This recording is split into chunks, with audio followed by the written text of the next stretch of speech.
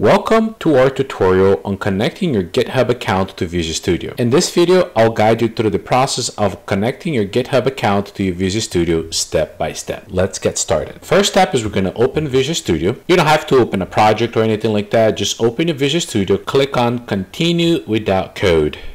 Click on Tool on top, Options, once options open up, look for source control. Under source control, find plug settings selection. Go ahead and select Git. My case already selected. Go ahead and select Git. Once that's selected, go ahead and click OK. Now up on top, right here, you select Git and, and click on Create Git Repository.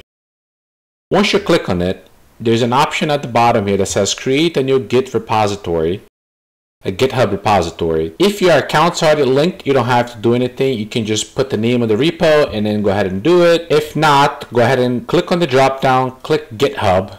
Once you click GitHub, you're going to be redirected to a web page so you can put in your credentials. Go ahead and click Authorized.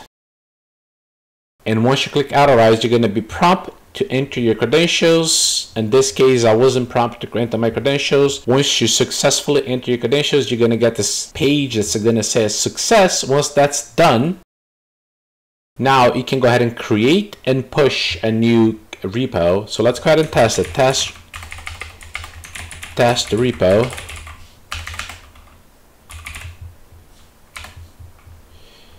Description, this is a test repo.